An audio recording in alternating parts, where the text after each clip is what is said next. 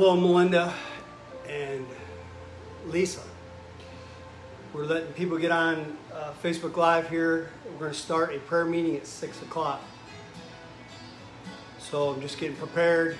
Um, thanks for watching. And Melinda, it's not showing on this uh, laptop.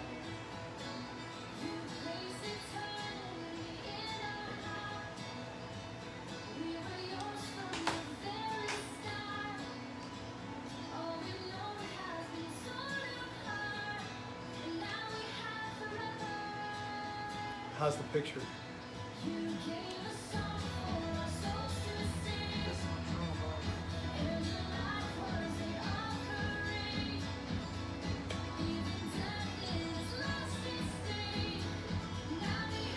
I have a great wife making adjustments on the fly.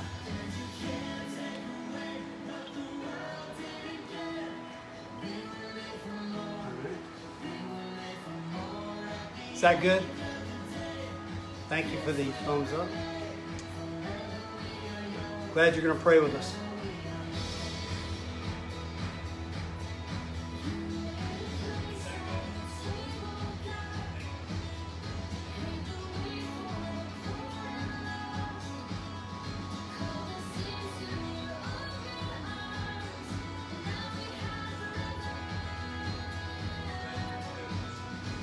Hey, Ollie. Glad you're joining our prayer meeting.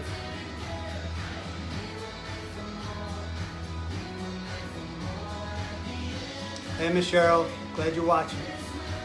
We're going to do a prayer meeting. Glad you're here.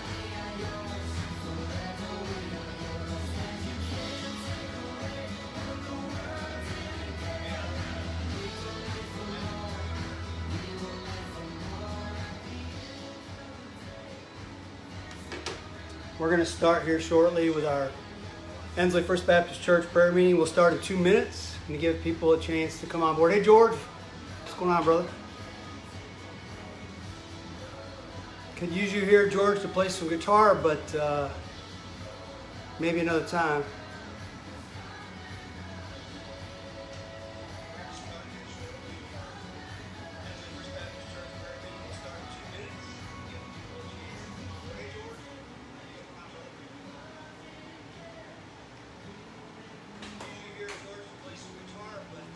And he turned that one down because it's, it's giving me an echo. Now would be a good time to uh, get your cup of coffee or something to drink. We start in approximately two minutes still. Six o'clock.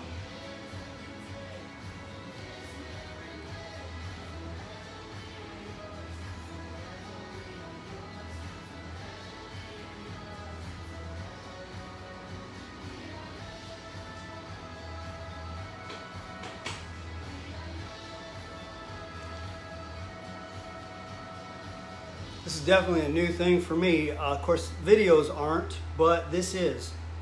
Uh, because of the virus, because of the quarantine, my family's in a quarantine right now. Um, this is new, so y'all pray for me as we go through this prayer meeting. Um, I'm glad I can see who's checking in. What's going on, Mark? Tell Deb I said uh, we love her. We love you too, George. Love all y'all go ahead and uh, if you want start a watch party get this thing shared because we're going to pray to jesus christ together and we're going to look at god's word together. And again pray for me because this is weird. I ain't going to lie. I'm not used to doing a prayer meeting in front of a phone but uh, it's a blessing that we can get god's word out and pray together in times like this. Hey Sherry, I need better uh, glasses, I guess. I can barely see the names. Well, I guess at six o'clock we'll get started, and I wanna I want us to pray. Let me turn this music off, and uh, we're gonna go ahead and get started. But first, let me uh, run through uh, a little list I have here. Who else just jumped on? Brendan Camp, hey son. Y'all, uh, so glad you're watching. So, prayer meeting for Ensley First Baptist Church. I don't know if this has ever been done before, but we're doing it now. And I wanted to do this at the church. Give me a thumbs up, y'all, if you can hear me okay. Hey, Robert. Give me a thumbs up if you can hear me okay. Hey, Jennifer. Wow, thank y'all for watching. Awesome, awesome. The, is the uh, is the picture pretty good? I'm concerned about the Wi-Fi a little bit too. Just pray that nothing goes wrong with that. So, we come to do our first ever Facebook Live prayer meeting. I'm so glad y'all are attending. Hey, Sonia. And um, let's start this prayer meeting before I go to the devotion with a prayer and some some items I want to cover, a little list that God has laid on my heart. So I can't see you, but I'm going to ask you to bow your head with me and pray for me as we go through this time. Maybe it'll be fun. And let's let's go. Here we go. Let's bow our heads. Here we go. Father in heaven, we come to you in Jesus' name. We enter your gates with thanksgiving, into your courts with praise. We are thankful unto you and we bless your holy name. Lord, I'm thankful that the church family is joining in here. I'm thankful that others are joining in. Lord, anybody that you want to watch this, Lord, either now or later, I pray that you'd be glorified tonight, Jesus. I ask Jesus that you would help us. Pray that your Holy Spirit would just take over this entire prayer meeting. Lord, help me not to worry about the method or how this is unfolding, but just to do what you've called me to do, to share your gospel, to share your love, to share the way of salvation, and to pray with your people. So, Lord, please help us now as we go forward with this meeting. We love each other, Jesus. If ever there was a time to keep prayer going, it is now. Please, Holy Spirit, take over. It's in Jesus' name we pray. And all God's children said, uh, Amen. For an amen, give me a uh, I don't know, a praying hands, a positive emoji, if you would, please. And there's my baby girl. Hey, Ash. Glad you're watching. We've got some Presbyterians in the house. That's very cool. So I'm in the uh, undisclosed location, the dungeon, the basement, doing the first ever uh, Ensley First Baptist Church Facebook Live prayer meeting. And so um, I want you to pray for me as we move through this process. Um, because I want to just get so lost in the Word and in prayer that I'm not even concerned about the method here or the strangeness strangeness of this of this process. I also want you to pray that there be zero zero distractions. Um, hey Jan, zero distractions. And so, what do I mean? Most of you know I'm taking some precautions. We have a ginormous, Mindy has a ginormous bull mastiff and he is outside. He ain't coming in. He'd be plowing through this thing, trying to get some love. We're not going to do that. Plus, I have kids, so I've banned the kids. They're, the prayers are rising, and they're right above me in their room. They're not in trouble. I just said, don't come down. So pray that there's no phone calls that come in where I have to mess with the phone. Pray there's no texts that come in. If you're watching this, don't text me, okay? Um, so just pray on my end and at your end that there's no distractions, okay? We don't want uh, the prayer or the study to be interrupted, and the enemy would love to do that. So pray against Satan as we move forward. Also, um, this, of course, is a Facebook Live prayer meeting. Until it's safe to gather again, Ensley First Baptist Church and others, until it's safe for us to gather again, we're going largely on what the Holy Spirit is guiding us through the information we gain from the county. And Travis, thank you, Travis Tompkins is doing a great job of sharing that information uh, with us. Hey, Sharon. I think that's, no, that's a Shane. Sorry, I have bad eyes, so if I get that wrong. So bottom line is, um, we're going to do this prayer meeting Facebook Live until uh, we get the green light that all is clear and then we'll go back. And why? Because uh, as we prayed and as the church leadership talked with some of the, our elderly and even myself with asthma, we don't want to put ourselves, those of us that are that have underlying issues, at risk. Uh, and this is a nasty sickness, and some of you know that we have gone through uh, a sickness here, and we're going through it as we speak, as a matter of fact. So if you would like to have others watch this, now would be a good time before we get to the study and the prayer to go ahead and start a watch party or share this. And that will help us get the gospel out. That will help us pray. And um, I'm humbled that y'all are even here uh, to, to help me pray. We're doing this together. And um, I'm thankful, very thankful that y'all are, are helping me with this. Okay, so uh, so share this even now if you want to, or after the fact, because of course it'll st stay on our it'll stay on our Facebook page. So then it can be shared later. The gospel's going out, and in the times we live in, that's exactly what needs to happen. The gospel of Jesus Christ, He's the Savior, He's the way, the truth, and the life. We need to get that message out, Christians. We have got to get that message out because because time is short, and we need to lead people to the saving knowledge of Jesus Christ. So you might want to find a quiet place right now, if you can. Um, we will do a, a Bible study, if you can believe this. I don't know if I can pull it off. Somewhere between 10 and 15 minutes. We're going to take a break from Isaiah Church Family and do some topical issues for the next two weeks. And so, hey, Mom, glad you're watching. And so, hey, Roger. So the bottom line is, uh, uh, what was I saying? 10 to 15 minute Bible study we're about to go into here in a few minutes. So you're going to need, of course you're going to need, you always need, go get your Bible. Get your Bible with you as we get ready to go into God's Word. And we're going to ask the Holy Spirit to speak to each one of us individually uh, throughout this devotion. We're asking the Holy Spirit of God to be their teacher today. I'm, I'm, I don't even come close. I just want to be uh, here to share the word, and then we want the Holy Spirit to speak to us. Hey, Ruby, glad you're watching. Hey, Travis. So get your Bible. Big time, big time important. Get your Bible. Get a pen, as I say in church, or get a pencil, get a notepad. Maybe you can jot down what the Holy Spirit is saying to you. Give me a thumbs up, everybody, if it's still coming through clear. Wi-Fi is clicking good. Give me a thumbs up if you can hear me okay. And that would encourage me to know to keep going. And even if it's not, guess what? I'm going forward anyway. But just pray that it continues to work good. Also, normally, when we meet at the church, many of you know we have, thank you for the thumbs up. Normally, we have a lot of dialogue back and forth with our with our Bible studies, with our prayer meetings. So obviously, that's going to be difficult here tonight.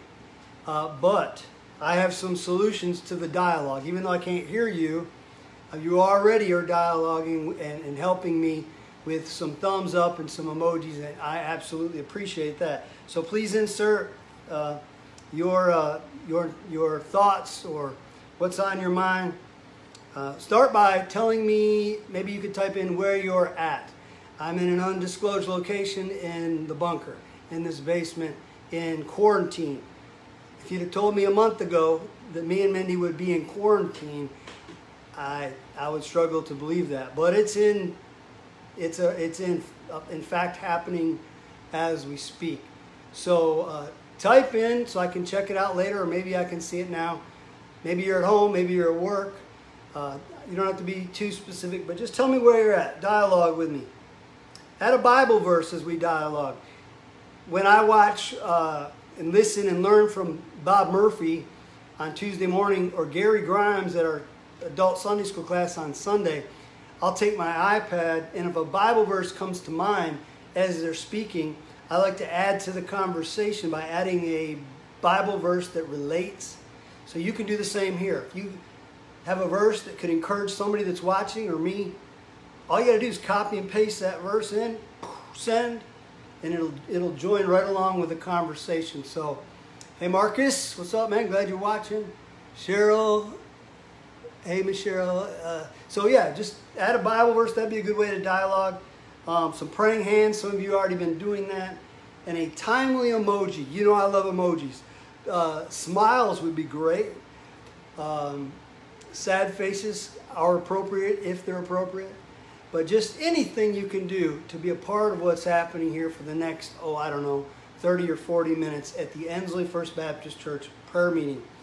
All right. Uh, Family update. Let me give you that before we get started. I, uh, as I mentioned yesterday in a video, was supposed to fly to Fort Myers. Quickly, I'll do this. I came down with an illness. Mindy took me to the emergency room instead of getting on an airplane. Greatest call ever by her. And um, I've been sick almost two weeks now ever since. I am much better today. I'm sure you can tell. Um, I'm not totally uh, back yet. I, I'm not there yet, but I'm on the way. That's the good news. The bad news is Mindy is in the heart of this thing, and she's still running around here as awesome as she is. She's still helping get all this set up. So Mindy and I are still in the basement on quarantine, trying to keep the kids upstairs, keep them healthy. And so we're trying to ride this thing out. We do not know what it is, but it uh, I, have not. It has not been confirmed or denied. I don't believe it is COVID-19, but it is a nasty sickness, whatever it was, there is. So please continue to pray for us, but it should not impact what we're doing here tonight. And uh, so thank you for all of you that have prayed uh, for us. I know the love has been pouring out. Thank you so much. All right, uh, so the objective tonight is to glorify God. We're going to glorify God by lifting up His Son, the Father, Son, Jesus Christ. And we've already asked in prayer, and I'm about to do it again, the Holy Spirit to help us as we go to His Word. We're about to go there, so I hope you have your Bible, pen, note paper, whatever you need. Take this seriously. This isn't just like watching television because we're going to God's Word. We want to get deep in God's Word. And I'll tell you up front as we pray, what we're going to deal with tonight is the issue of fear and death. Fear and death. Okay, so let's pray. Bow your heads with me again. Here we go. Father, we just thank you so much for your word. Thank you, Father, for those who've joined in to be a part of this prayer meeting tonight. As we do our devotion tonight, Holy Spirit of God, I pray that you will take over, that you will fill your servant that you will fill your servants that are watching, that we would learn together from you, that we would be encouraged, that you would remove all fear. Lord, that we would be to the point in our walk with you, Jesus, for every Christian that's listening, that we would be to the point that we are excited about being with you forever, that we would embrace death as that step through that door to be with our Lord and Savior Jesus Christ. To be absent from the body, your word teaches us, is to be present with the Lord. For us to live should be all about Christ, but to die should be great gain. And let our hearts settle on that peace as we go forward. It's in Jesus' name we pray, and all God's children said, Amen. Now, if you can say amen, give me an amen, type it in, or give me the praying hands. Let me know you're with me. And here we go. We're going to be primarily in one verse tonight, but uh, we'll bounce around a little bit. But you'll want to turn in your Bible to 2 Timothy. 2 Timothy chapter 1 in verse 7. 2 Timothy chapter 1 and verse 7. Okay, so we're dealing with the issue of fear. And I ask you the question Does God want us to be afraid?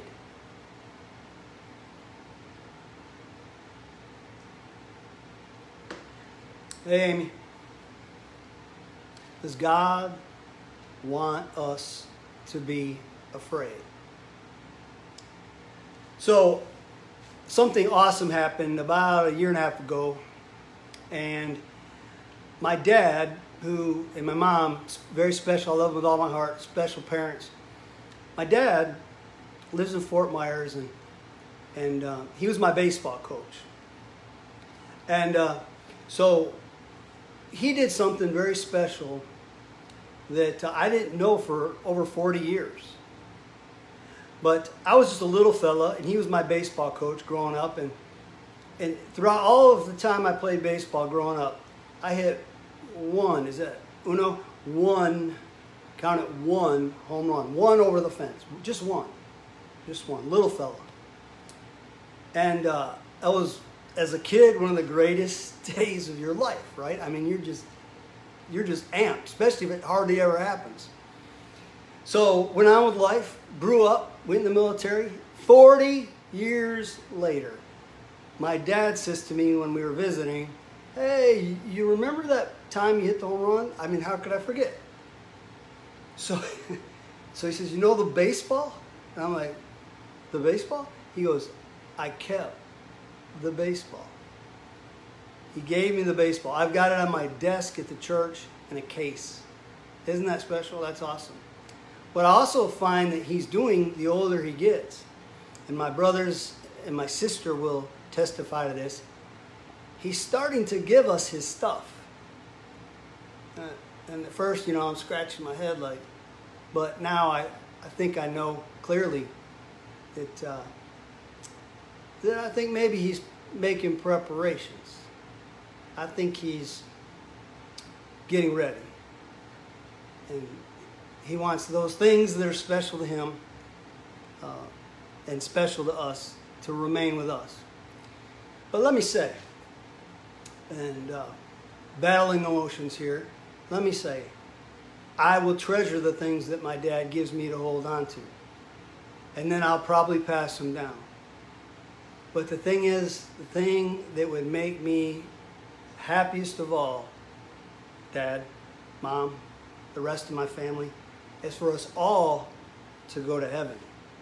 And that goes for anybody that's watching.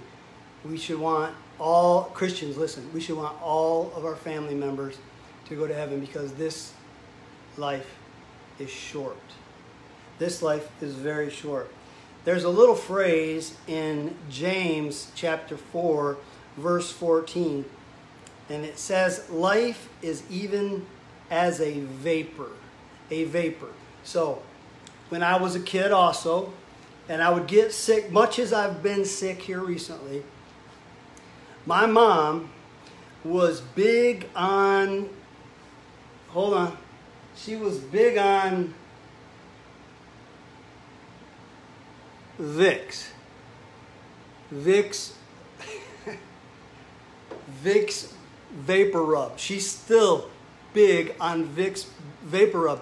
And she would bathe me in that stuff, you know, and then, you know, you're all bound up, and then I'll give credit to Tim Hawkins and to the Holy Spirit, but then you're like, I was a child of the 70s. and the, and the vapors. And, and so you didn't know if you were sick or what was going on once mom loaded you up with Vicks VapoRub. Why do I mention that? Because sooner or later that those fumes were gone. Sooner or later that cold or that flu was gone. Much like this COVID-19 we pray will be gone. Just like that. That quick. As fast you know, I just got a cup of coffee before I started. As fast as the vapor, the steam comes up off a cup of coffee, life is short. I'm 53 years old, and I got to tell you, it seems just like yesterday I was playing baseball with my dad. It seemed like just yesterday mom was gooping that stuff on me. Matter of fact, while I was sick this last time, one of the things she says, you know, moms, put the Vicks on, put the Vicks on. So, so uh, yeah, we and my dad even says you put it on the bottom of your feet. I don't know about that. So bottom line is, bottom line is life, say it with me, life is short. What did you say, George? Yes, on the sock, wrap it around your neck, all that stuff. Oh yeah, yeah. Head, you know, everywhere, everywhere. life is short, isn't it? Have a little fun here at the moment, but life is incredibly short. Time is flying, and it won't be long. We don't know if it's tomorrow. We don't know if it's 20 years from now. It won't be long that our heart will stop beating. And so God has sent his son, his only begotten son, to save us so we could go to heaven. It's just really that simple. And so tonight we want, uh, the goal of this is to glorify God and for the Holy Spirit to take through the power of His Word fear away. Maybe with a show by a raising of a hand. Is there an emoji you can raise a hand? Or somehow raise a hand? I'm going to raise a hand. Raise your hand if you've ever been afraid of death. I have. I have. At times, not I mean not always, but there have been times I've been afraid to die. I uh, one one occasion was I had to go do uh, a biopsy, and um, and I know the Word of God. This was why I've been a pastor at Ensley First Baptist Church. I know the Word of God. I studied the Word of God. I believe the Word of God, I've had peace about death. But every now and then, the enemy whispers in your ear and tries to make you afraid. Right? Uh, afraid of death. And so I had to wait a period of time to find out the results of the biopsy. And uh, there was no cancer there. But that doesn't mean someday there won't be. I pray there never is. That doesn't mean somebody that's watching this or knows somebody may experience just the opposite. The bottom line is, is a situation like that can bring about intense fear. And God wants to take that away. He, he does not want us to be afraid of that or anything else. And I'm going to mention in a minute. Really, there's only one you should fear. Only one. It's not a human being, it's God. But at the same time, this same God we should fear and reverence, He loves you with all He can love. His love is amazing. He loves you intensely. So, so it's easy to, to revere Him, knowing that He's our Abba Father and He loves us all at the same time. Only God. So all these other things, COVID 19, hey Michael, anybody else I've missed, I love y'all, glad you're watching. Any of these other things that the devil wants us to be afraid of, get behind me, Satan. We have a God that, we have a Holy Spirit abiding in us that overcomes every fear that may come our way. We just have to, we have to utilize the Word of God. We have to, in faith, grab a hold of that. What does the Bible say? Here you go, mark this verse down. If you're just now joining us, I had asked the people, the, the church family and the guests that are watching to grab a pen, grab, uh, grab a piece of paper. And George, I'm going to come back and read some of these later. Man, I can't. You know my eyes are bad, and, and Mindy will catch me up. She's watching in the other room. Keep Mindy in prayer. She's in quarantine as well in lockdown. So, write this verse down. What does the Bible say about death? Well, one, in context of what we're talking about tonight, Hebrews 9, chapter 9, and verse 27. Hebrews 9, 27 says this, And as it is appointed unto man once to die, but after this, the judgment. We have an appointment. We go to doctor's appointments. We go to meetings. We have an appointment. And because the wages of sin is death, we have an appointment with death, each one of us. Now we pray the rapture happens, and Christians, we pray we're out of here.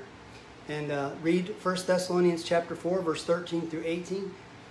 I'm not talking about that tonight. I'm talking about if your day comes to die, where your heart stops beating. One of the saddest moments in my 53 years was when I held my granddaddy's hand, uh, and my grandma held his other hand when his heart stopped beating.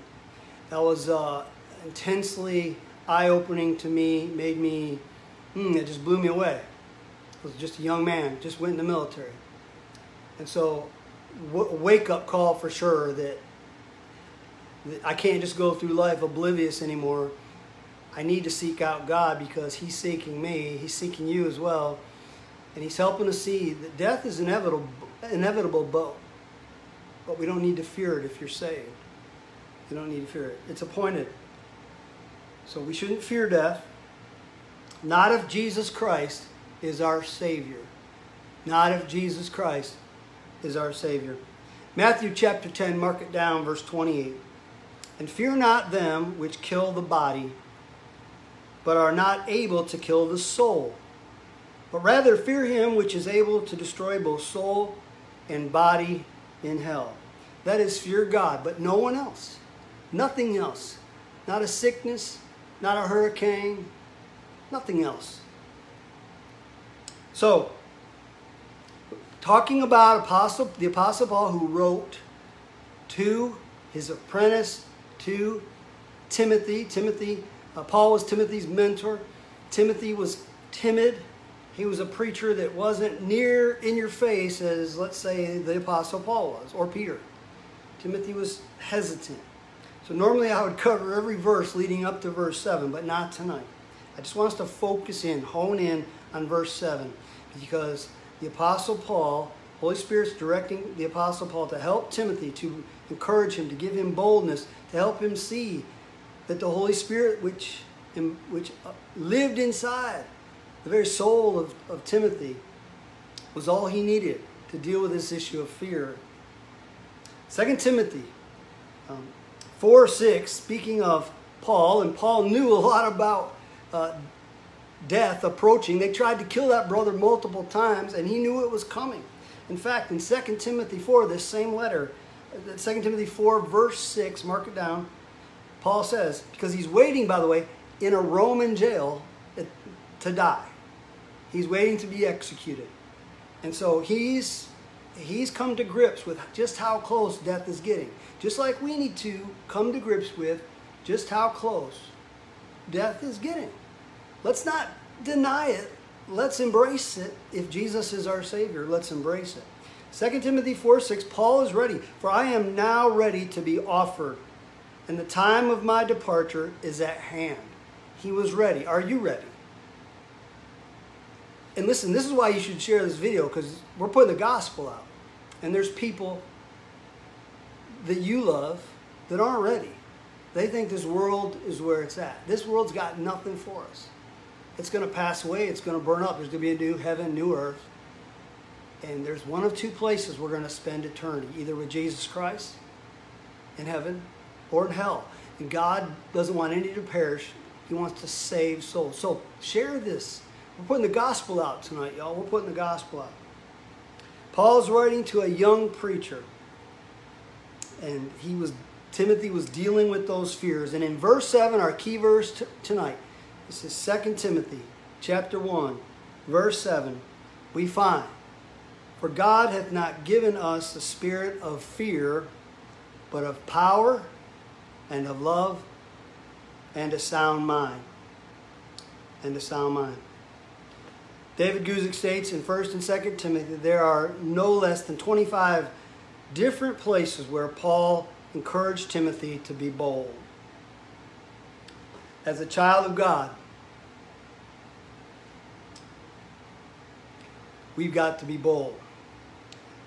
We've got to be bold. The Father in heaven didn't want Paul to fear. He didn't want Timothy to fear. He doesn't want you or I or myself, he doesn't want us to fear.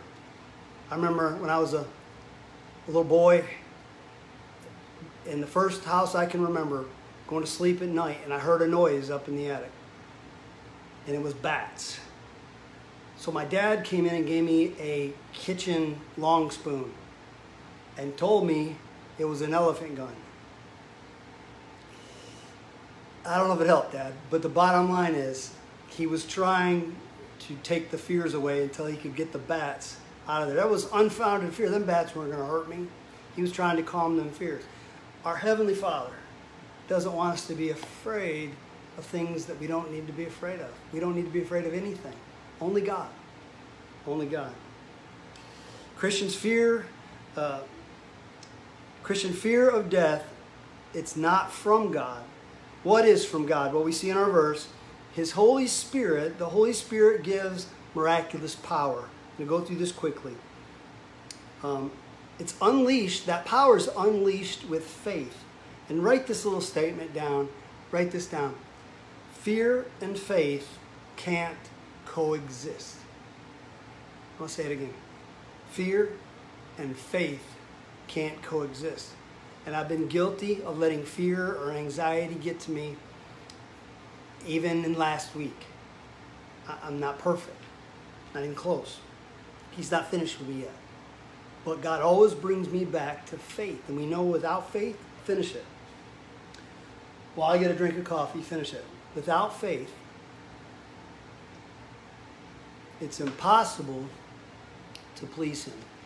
Faith is the substance of things hoped for, the evidence of things not seen. We're to walk by faith and not by sight, right? So we have to keep the faith. That'll eliminate the fear. Trust God's power uh, in fearful times, like now.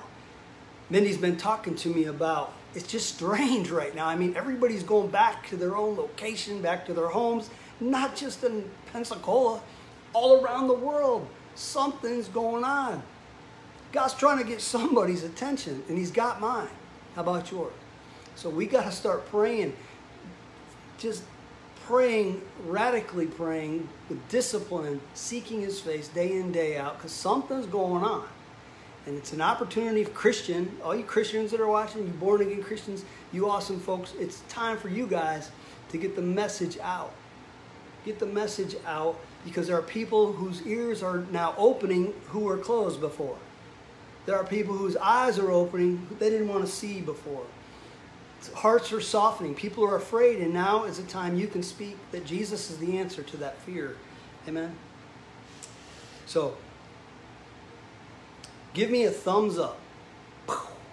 Give me a big thumbs up if you believe Jesus Christ, the Lord Jesus Christ, has power over COVID 19.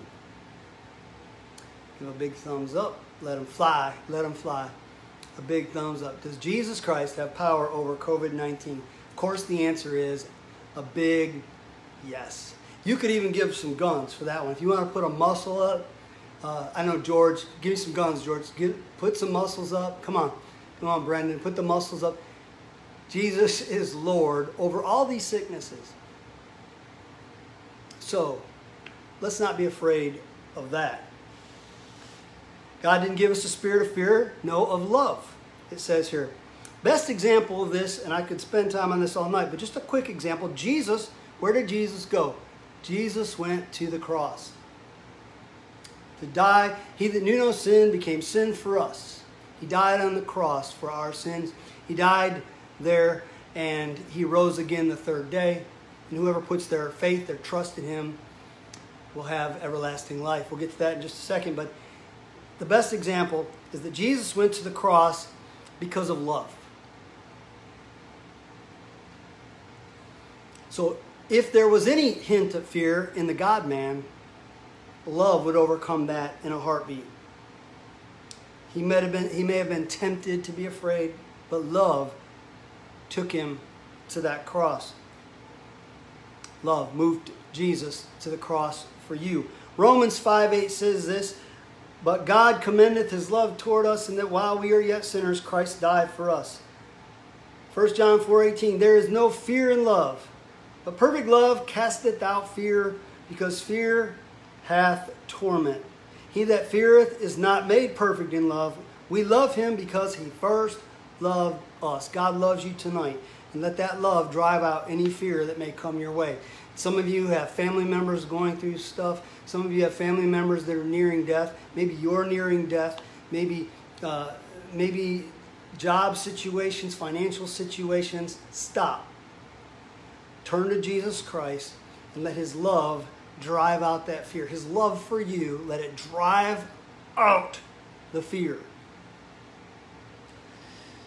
We also see here as we bring this home, the Holy Spirit gives us a sound mind.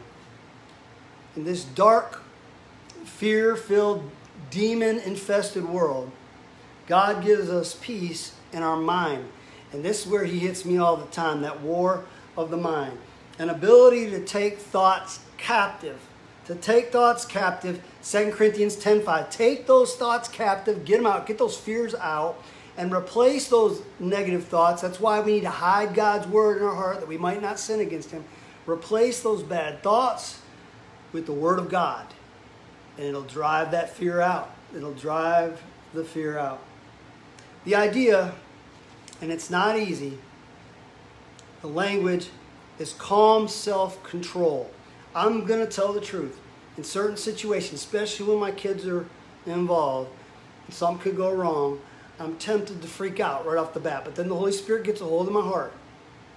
And He gives us a calm, control to pray through the situation. We, we can come back to Him before we just freak out. We don't need to freak out. We don't need to be afraid. Even if it's something, even if it's the worst, even if it's dreadful, pause, go to God, let His Holy Spirit calm your rapid beating heart. We don't need to be in an uncontrolled panic. We keep our minds on God. Mark this verse down. It's one of my favorites, and it helps me deal with some of these tough issues, and it'll help us lead us into prayer here in a minute. Isaiah 26, 3 says, Thou will keep him in perfect peace, whose mind is stayed on thee, because he trusteth in thee. Keep our mind on the Lord, our eyes on the Lord. We know also for reference, and I'm just going to ask you to mark it down. Maybe some of you could copy and paste it in this link for everybody that watches this now or later. Philippians 4, 6, and 7. And of course, uh, those are powerful verses on the peace that passes all understanding. Now, I don't know, uh, with a show of hands, how many of you have been to death's door? I have. I've been, I've been at it. I mean, I was ready to step through it. Many of you know the story. I'm not telling the whole story tonight, but I was life flighted out of Big Lagoon, baptized again, a dead man, and God saved me. Thanks to my brother Jason, thanks to the Holy Spirit, thanks to everybody involved, thanks to my wife who went to work. But I've been close to death's door. How many of you been there? You know, it could happen in a moment. When you get up every day, we should thank God for the day because we don't know it's going to be a car accident, if it's going to be an illness. We have no idea. But don't be afraid, even if you know it's coming, like Paul did, like Paul's conveying the message to Timothy, or or if it's a sudden thing that happens, a car wreck, let's say. Don't be afraid. Don't be afraid. Remember these verses. But I've been there. Should we fear death? What have we learned tonight? No.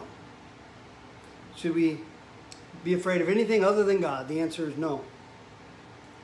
Let me tell you what it takes to get all that fear away. Maybe somebody's watching that maybe you're religious. Maybe you call yourself a Christian, but you don't know a lot about the Word of God. Maybe you believe, but you're just feeling the need, you're feeling led by God's power right now to go further with God, to step in deeper. Maybe you are saved, but you want to return. Maybe you're like that prodigal son and you need to come home to your father. So if you're a Christian already, memorize the verses that you learned tonight and pray. We're going to get through this, okay? One way or another. Even if we go home, hey, how much better to go home, right? But if we don't, we're going to be with Jesus. And things, by the way, as we move into time, are likely. We're going to share in God's suffering. This is, should not surprise us. Those that are teaching that we're not going to suffer in this life, or you've heard that, or you've assumed that. That's just not biblical. Read Philippians chapter 1. We're going to share in Christ's suffering in all kinds of ways. So maybe he's getting us ready for that. So, Christians, just dive in, draw near to Jesus, get close to the Holy Spirit day in, day out. But I want to speak as we bring this to prayer. Maybe you're watching or you're sharing this with somebody that's watching that's never asked Jesus to be their Lord and Savior. And they should be afraid. If you're going to do this life without God, you should be afraid. If you're going to die without Jesus as your Savior, there is much to be afraid of. But God doesn't want that. He does not want that at all. He's, he loves you so much. Let me put this away. I don't need these notes just yet. He loves you so much. He, he, he desperately loves you that he sent his only son.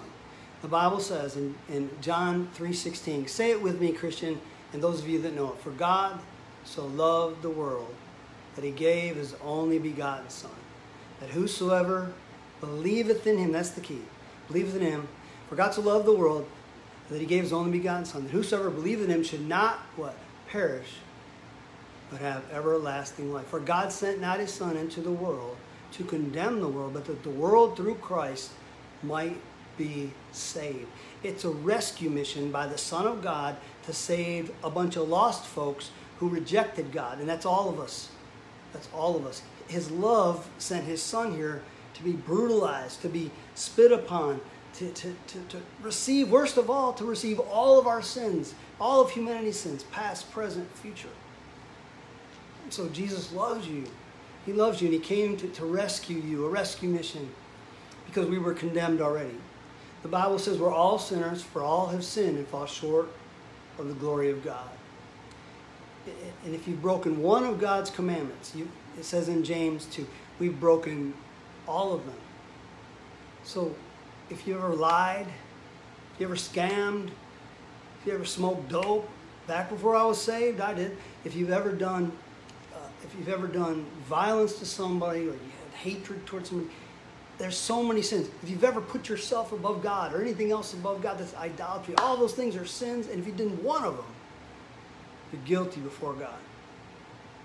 Romans 6:23 says, "The wages of sin," and here we come back to our topic tonight. The wages of that sin is what? Death. That's why we go to funerals. The wages of sin is death, but the gift, watch the other half of that verse. The wages of sin is death, but the gift of God is eternal life. Through Jesus Christ our Lord. He's the only way. I'm giving you the plan of salvation. Listen to me now. Listen carefully. It doesn't matter which religion, it's not about being a Baptist or a Methodist or a Presbyterian or a Catholic.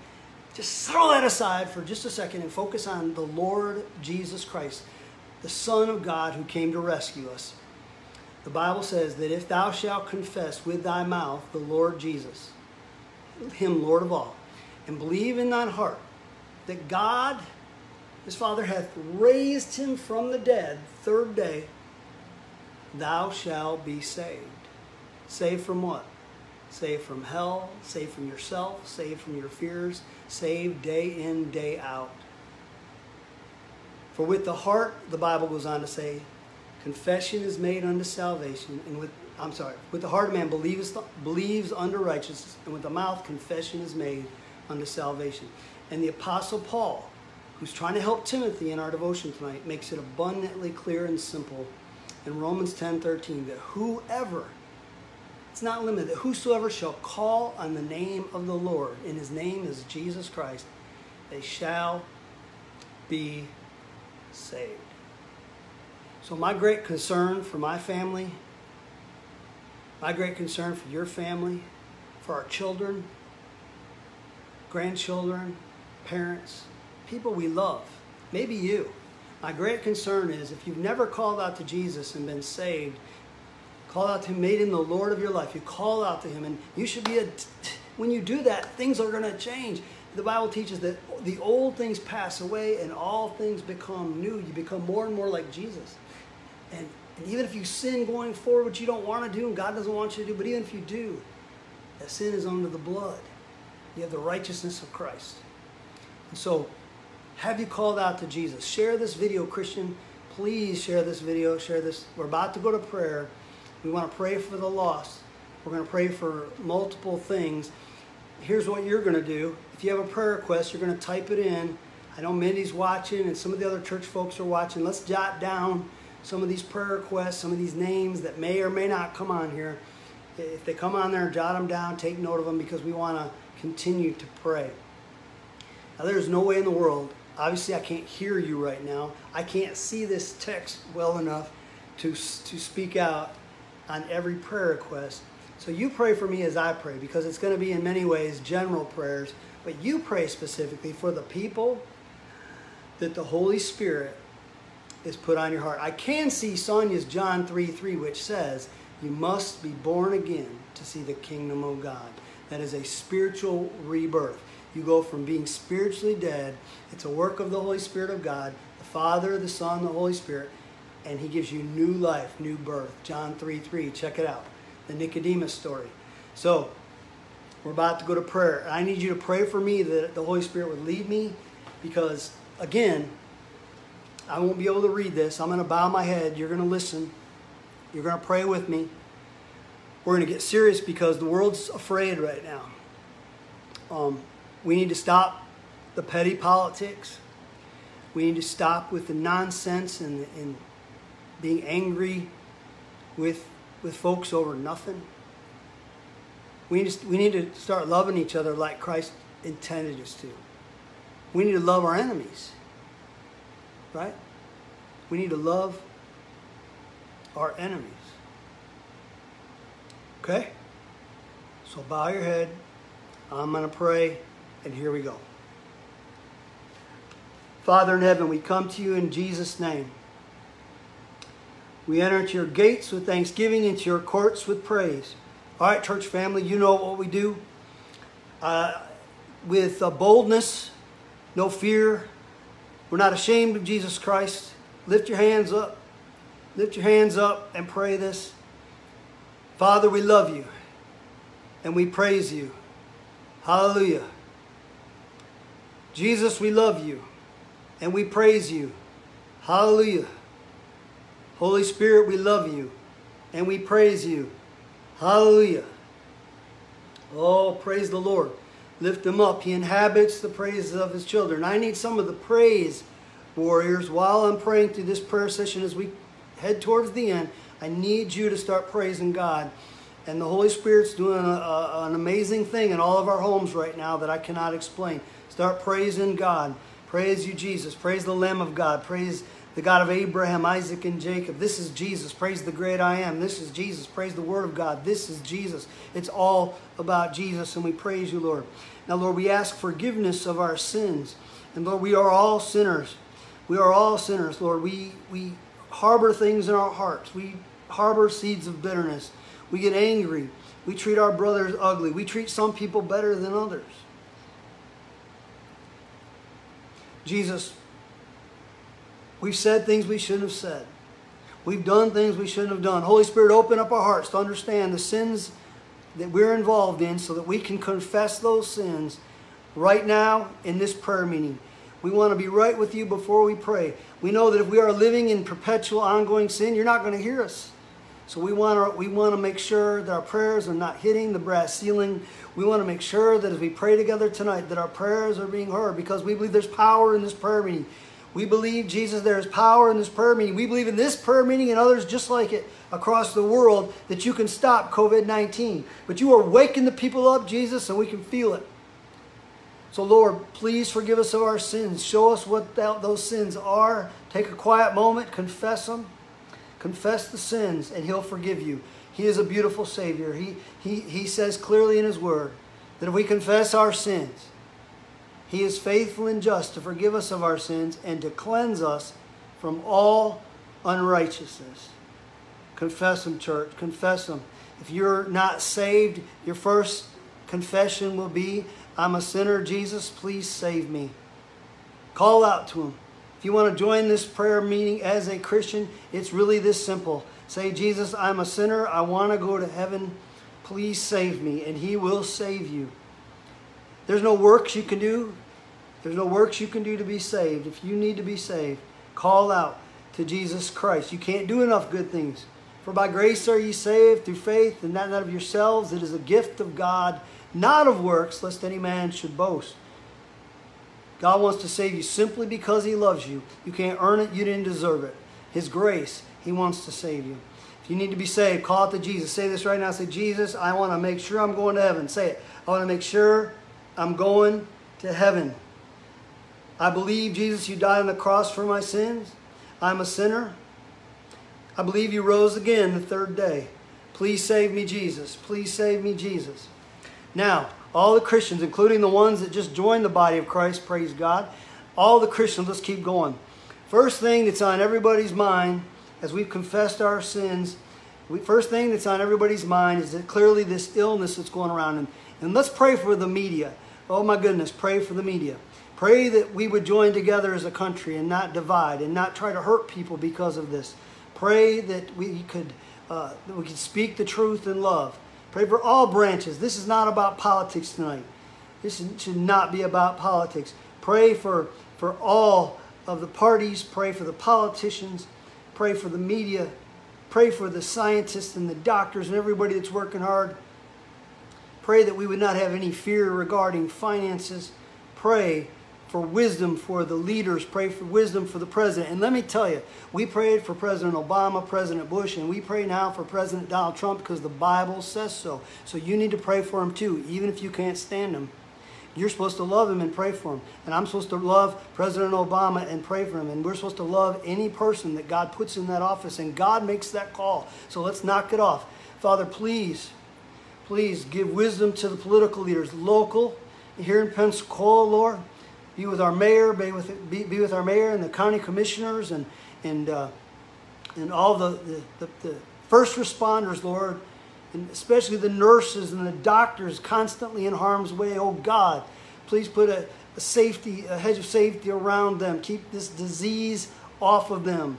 Please, Lord Jesus, be with the medical professionals. Oh, Lord, please, please, please. Lord, be with uh, the emergency managers as they try to help us work through this. Please put a discipline in the, the people as a whole to listen to the instructions we're given, Lord. Give, give the people a desire to, to do what we're told, to wash, to keep our distance, and if we're sick, to isolate, Lord. Lord, all that said, we believe that we need to do these things and pray for these leaders. All that to be said, I am praying tonight, and I'm asking the church family and the friends that have joined us, I'm asking y'all to pray tonight. Or would you pray with me tonight that God would stop the plague? I did a study in the Old Testament on the plagues, some of the plagues that came forward. And there were three issues involved with all those plagues. One was pride, the other one was rebellion, and the last I noticed that jumped off the page was idolatry. I want you to pray that Donald Trump would speak the name of Jesus Christ, that he would humble himself and turn to Christ with Mike Pence. Pray for those men that they would turn to Christ, that they would turn to Christ, that they would humble themselves, and that they would seek God's wisdom and not their own, and that they would ask God, as we are asking God tonight, do you believe that God can stop the plague because we are praying? We are standing in the gap. Jesus is our intercessor. We are standing in the gap, and we're asking the God uh, of the universe who has power over Satan. 1 John 4 4. Greater is he that is in us than he that is in the world. Holy Spirit, we are agreeing together as one tonight that the plague would be stopped. God, oh God, we know you are using it for your purpose. We know you are using it for your glory, for your kingdom. But Lord, please stop the plague. We know our nation is full of sin. We know this world is full of sin. But we Christians don't support that. We pray for the babies that are being aborted. We pray that that would stop, oh Lord Jesus. Let that stop, oh Lord Jesus. We, we know we are trying to humble ourselves, bow our heads, bow our hearts, bow our knees before our God. And we know the nation is filled with sin. We pray for those, Lord, that hate you and don't like you. We pray that their eyes would be open. But Lord, on behalf of the remnant of those Christians that cry out, Please, O oh God, stop the plague. And the people said, Amen and amen. In Jesus' name and in his power, amen. There's no weapon that's fashioned against us that will prosper. Lord Jesus, we pray tonight for the church, for Ensley, for all the churches that are represented here tonight, for the pastors, for the pastors' wives, for those that already have this COVID-19, that you would heal, that you would heal, you would heal Mindy and I. We've been bound up in this basement for two weeks. For all those that are facing tests and are afraid, take the fear away. For all those that, are, that have cancer that watch this, we pray in the mighty name of Jesus. We are not going to give up. And we pray first and foremost that you're saved because, listen, we're all going to die of something. And if God's will is for us to die of, in such a way, then let's go to heaven. But I believe that Jesus is the same yesterday, today, and forever. And I still believe there's power in the, the power and the presence of the Holy Spirit. And I believe you could be healed if it's His will. Call out to Him and let's pray for those with cancer and COVID 19 and other illnesses. And let's believe, let's believe the prayer of the righteous men and women that are praying right now. We believe for healing in the might of Jesus, Yeshua, God, the Alpha, the Omega. All you got to do, Jesus, is say the word.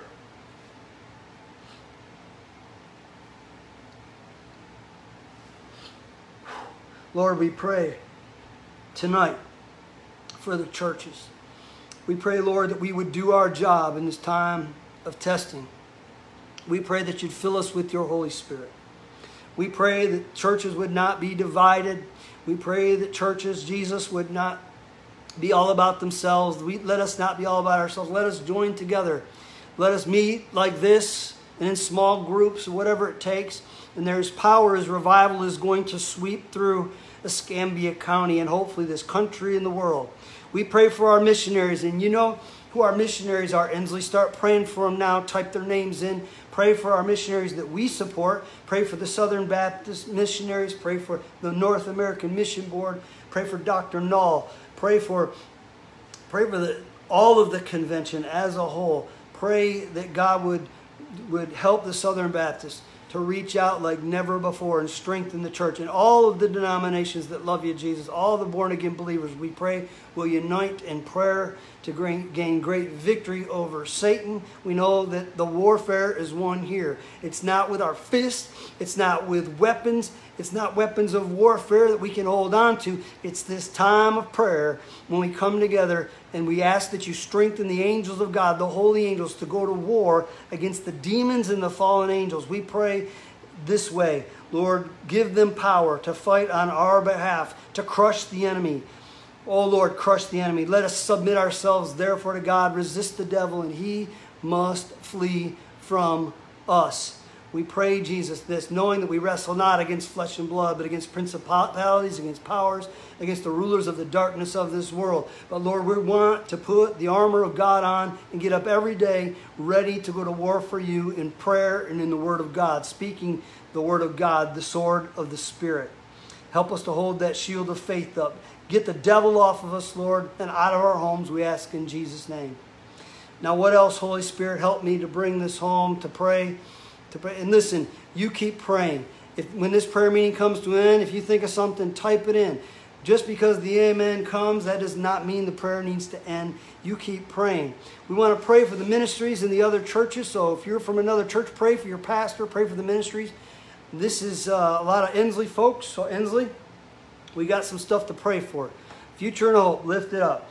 God is rocking future and hope right along in the midst of the in the midst of the storm stuff is happening. Pray for Robert Baker. Pray for Ben Veazey. Pray for all the subcontractors. Pray that they have safety. Pray that God would pour in the resources and the money because, Lord, you know that we're going to give you the glory. We're going to give you the, the glory as 15 women at a time will hear the gospel day in, day out at a future and hope. Pray for Mindy and Sonia as they lead the program. Get Mindy back up, Lord, off the sick bed. This is a straight up attack from Satan, and please heal my wife in the name of Jesus. She's so awesome to my family in the church. Please bless her and heal her. Lord, please open a future and a hope so we can start really going to war against Satan in that matter. We want to help women struggling with addiction and abuse. We pray, Lord Jesus, for streets. Lift them up. Travis, lift them up. All you street folks, lift them up. Mark, lift them up. Jennifer, and whoever else is watching, street folks, lift it up. Lift up the ministry that God has put on your heart. The homeless in Escambia County, pray they don't get COVID 19. Pray that God puts a hedge of safety around them. And even more so, pray that God would deliver them from addiction. We're going to see a victory yet. We're going to see, instead of the zombie apocalypse, we're going to see these homeless folks struggling with addiction with meth, heroin, crack, spice. We're going to see those demons go down in the name of Jesus, and we're going to see Escambia County as an example of the power of God to heal and set the captives free. Please, Jesus, move on streets, Waterfront Rescue Mission. Move, on all the ministries like at Epicenter. Uh, Lord, help me not to forget any. Lord, we pray for uh, uh, loaves and fishes. Pray for these ministries in Escambia County, opening doors. Uh, we pray for Lake, even Lakeview. Let revival happen at Lakeview, Lord, as they minister, Lord. We pray, Jesus, for the other ministries at Ensley, the children's ministry. We lift up uh, our sound guys, Mindy in the praise and worship, Lord. That's where we go forward and more. Pray for, for Mindy and the praise team. Pray for them by name, Mindy. Pray for your people. Pray for them by name that we would have a fire to sing the praises of God as we go to war. Pray that God would protect us and bring us back together soon to pray without having to do it through a phone, that we can come back to the battleship. Finally, as I close tonight, because really I could go all night, I think, but I probably need to start heading to this. Pray for the lost and the prodigal sons and daughters. One wants you to put their name up there on the screen, then you do it. But if not, you just pray in private. And not only that, you be a witness to them. Send them this video. You tell them that Jesus is the answer. You pray for them. And if they won't listen to you, you pray night and day, day and night, until a breakthrough happens and we're not going to give up. One thing I've learned through the Holy Spirit over the past several years is persistently, relentlessly, do not stop praying for the lost. Lift up your babies, lift up your grandbabies, lift up your brothers, your sisters. lift up your parents, your grandparents, lift up those that if they died right now would go to hell. And we don't want that, Jesus. You don't want that. We pray you'll do whatever it takes to save souls. We say these prayers tonight in the mighty name of Jesus Christ, my Savior. Thank you for praying with me. You know, I don't have much of a voice, and we end every service because of Pastor Estes, his wife, uh, Miss Ann, who's now in heaven. Years and years ago, before I got there, Miss Ann, she uh, she came down with leukemia, and the church prayed and prayed and prayed. Ensley First Baptist Church, before I ever got there, that she would be healed. And don't you know it? It's not a shock because God can do it. He healed her and gave her many, many, many more years. And so I was asked when I came, was when I came to be the pastor at I was asked, "Do you want to keep singing victory in Jesus?" At the end of every service to honor the miracle that God did with Miss Ann? And of course, my answer was yes, absolutely. So I don't have much of a voice. I need Bill Dantzler here. I don't have him here. I don't have Mindy, but it's only right. Here we go. Oh, victory. You got to sing with me. Oh, victory in Jesus, my Savior forever. He sought me and he bought me with his redeeming blood. He loved me ere I knew him, and all my love is due him. He plunged me to victory beneath the cleansing blood. I love y'all. I think we prayed tonight. I'm pretty confident. I don't know what you're doing. I don't know what you're doing in your own little place. I see a lot of activity. I have no idea what just happened with you. But I believe the Holy Spirit was with you, and I think great things are happening. Let's keep going forward in prayer. There is victory in Jesus. I love y'all, and I'm out.